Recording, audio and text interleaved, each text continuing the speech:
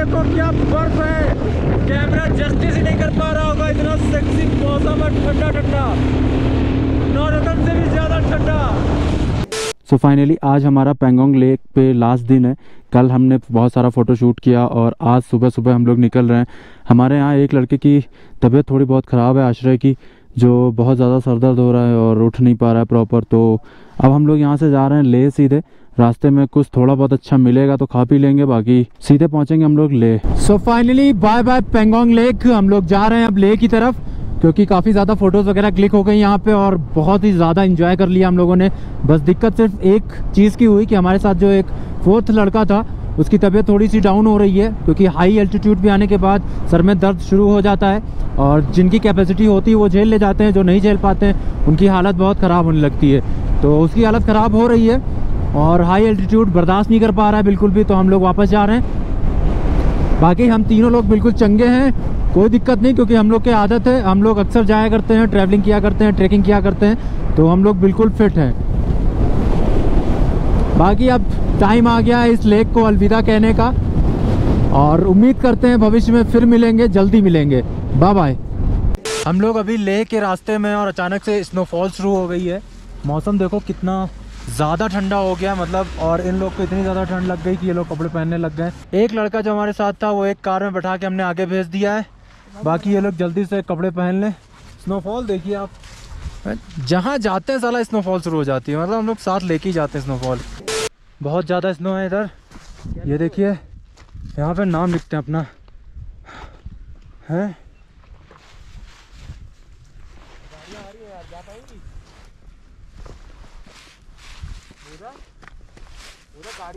आने दो। ये रहा मेरा नाम। Ton do subscribe, like and share.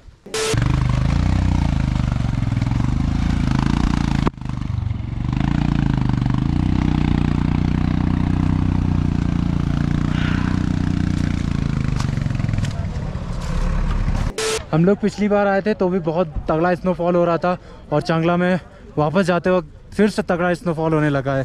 आप देख सकते हो ये और रास्तों में स्लश बहुत आ गया है बहुत ज़्यादा गाड़ियाँ स्लिप करने लग गई हैं लेकिन यार मज़ा आ रही है।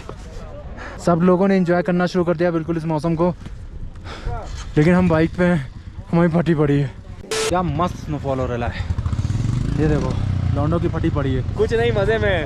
ऐसा सिर्फ़ कैमरे के सामने कह रहे हैं। ठीक है बाकी ये रहा स्नोफॉल इस स्नोफॉल से अपना पुराना रिश्ता है चांगला में हम लोग, और जहाँ पे स्नोफॉल शुरू हो चुका है लास्ट टाइम जब हम आए थे तो यहीं तक आ पाए थे, इससे आगे नहीं जा पाए थे, क्योंकि स्नोफॉल बहुत ही तगड़ा था, बहुत ही कदर था। अभी हम लोग वापस लौट रहे लाए तो स्नोफॉल शुरू हो गया, और ऐसा स्नोफॉल हो रहा है, ऐसा स्नोफॉल हो रहा है, मैं बता नहीं सकता आपको। धूप निकल आई, वरदान मिल गया लगता है। धूप निकल आई हल्की सी।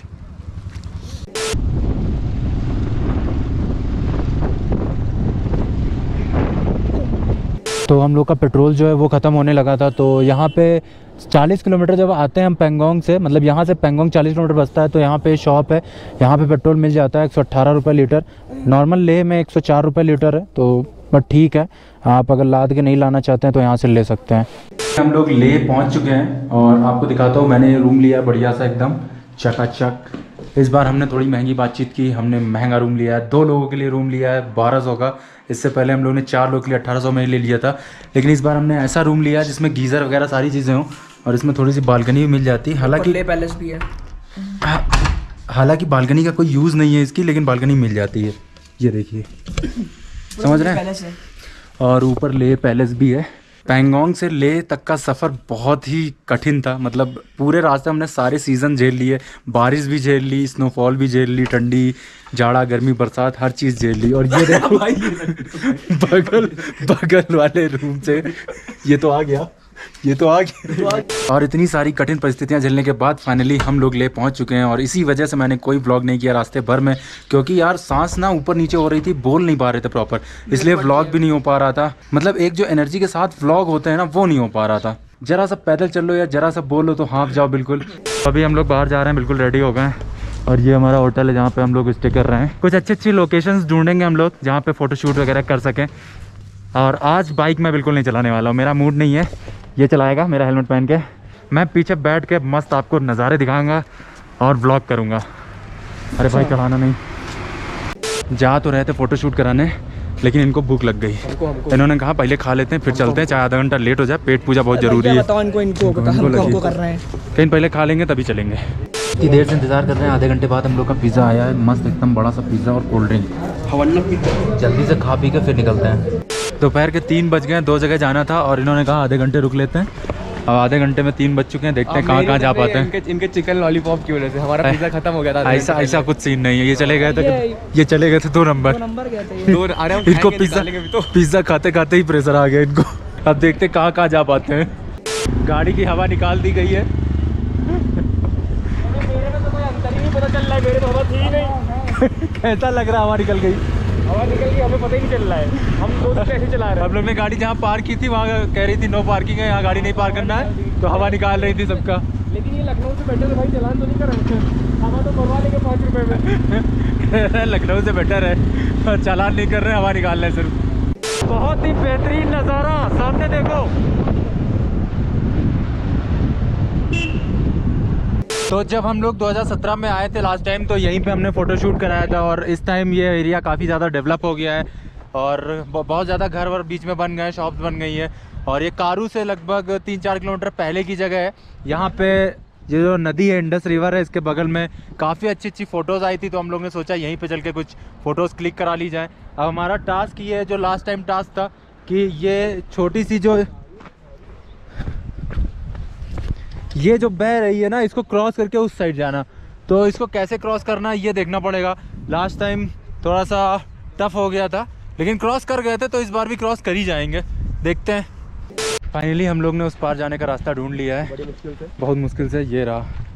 जाना मतलब रास्ता और चला जाएगा। चलो ऋषि पहले तुम जाओ। हैं? क्या कहते हो? जल्दी जाओ। धक्को से धकेला दो। गिला दो।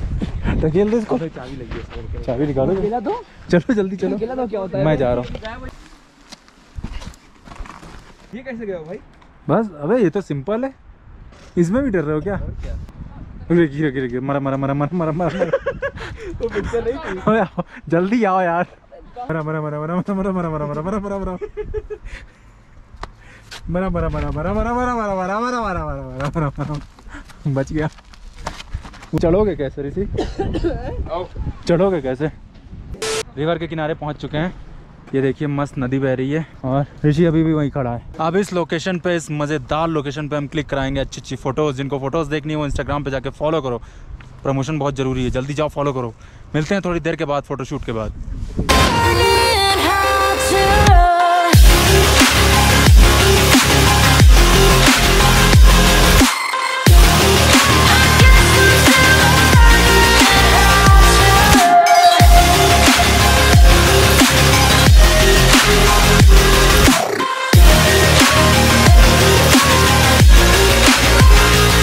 सारी फ़ोटोज़ यहाँ क्लिक हो गई और अब जाने का समय आ गया। यहाँ से हम लोग ने सोचा था खरदुंगला जाएँगे लेकिन अब ऑलरेडी साढ़े पाँच हो चुका है तो वहाँ तक पहुँचते पहुँचते आई थिंक अंधेरा हो जाएगा। तो जाने का कोई मतलब नहीं बनता है ठीक है? और और धूप जैसे ही हमारे साथ ये जादू आ गया है।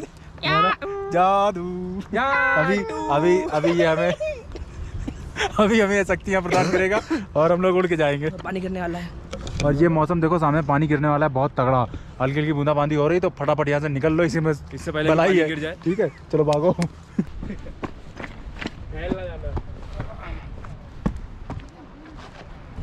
ये ऋषि फैलेगा। देखते जाओ। फैले ऋषि फैल ऋषि फैल। मज़ा दे सबको। बच गया। तुम भी जाओ। तुम भी फैलो। तो मेरे पीछे जो रोड देख रहे हो, उस पर भी बहुत सारी फ़ोटोज़ हमने क्लिक कराई हैं। और हमने सोचा, अभी थोड़ा सा टाइम है तो हम खतुंगला तो जा सकते हैं। मतलब जितना कवर कर पाएँगे, उतना कवर करेंगे। रास्ते में ही हमें अच्छे अच्छे सीन मिल जाएँगे। तो अभी जा रहे हैं खरदुंगला की तरफ़।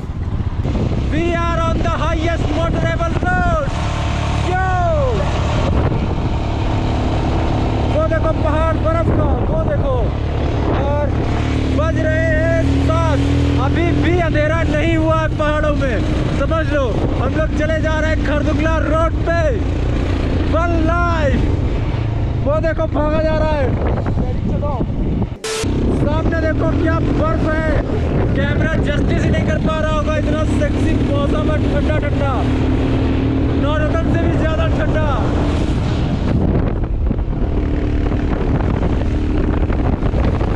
तो रास्ते में लोकेशन मिली है यहाँ से ये बहुत ही खूबसूरत पहाड़ दिख रहे हैं और यहाँ से फ़ोटोज़ बहुत ही सेक्सी आ रही हैं। ये देखो फ़ोटो खिंचा रहा है। ऐसे फ़ोटो खिंचाएँगे पीछे से ये पहाड़ आएँगे। आप खोलो। बहुत ही औसम व्यू है। गजब। तो यहाँ से नज़ारा देखो आप कितना प्यारा है बहुत ही सुंदर। और ऊपर से जो भी आ रहा है वो भी यही कह रहा है कि ऊपर बर्फबारी हुई है। बहुत ज़्यादा ऊपर मत जाओ। अभी वापस ले लो क्योंकि रास्ता बहुत ही ज़्यादा ख़राब है। आज तक कभी इतना ऊपर नहीं आए हैं ज़िंदगी में। आगे लो थोड़ा। आगे क्या? होगा ना? हाँ करीब सत्रह किलोमीटर बचा है खरदुंगला बस। और ये देखो मतलब नीचे देखो आप कितना हम लोग वो वहाँ से आए हैं वो जो छोटा सा मंदिर दिख रहा है ये। तो यहाँ से अब जाएँगे वापस नीचे होटल पे और फिर रेस्ट करेंगे। बाकी मिलते हैं जल्दी। तो कल शाम को हम लोग वापस आके रूम पे आराम से सो गए थे, बहुत थक गए थे, इस वजह से नींद आ गई बहुत जल्दी। और आज मॉर्निंग की हमारी वापस की फ़्लाइट है। आज हम जा रहे हैं सुबह सुबह नौ बजे एयरपोर्ट क्योंकि 11 बजे की हमारी फ़्लाइट है तो वहाँ से हमें डेली लैंड होना है जल्दी से। तो फटाफट सारी प्रिपरेशन हो गई है, सारी पैकिंग हो गई है, सब लोग बिल्कुल रेडी हैं और अभी हम निकल रहे हैं यहाँ से टैक्सी करेंगे। टैक्सी करने के बाद सीधे एयरपोर्ट फाइनली हम लोग गुड़गांव वापस आ चुके हैं। फ़्लाइट लैंड हुए अराउंड दो घंटे हो चुके थे। सामान लेने में बहुत टाइम लग गया। बहुत देर बाद सामान आया। पूछो, परेशान हो गए थे मतलब बहुत ज़्यादा टाइम लग गया सामान निकालने में। फिर ओला की हमने, ओला एक कैंसिल हो गई, दूसरी ओला करके हम लोग फाइनली वापस वहीं आ गए, जहाँ से हमने जर्नी स्टार्ट की थी। अब जा रहे हैं अंदर फ्रेश होएँगे और वो खड़ी हमारी अल्ट्रॉस दिख रही होगी। और अल्ट्रॉस लेके उसके बाद यहाँ से निकलते हैं।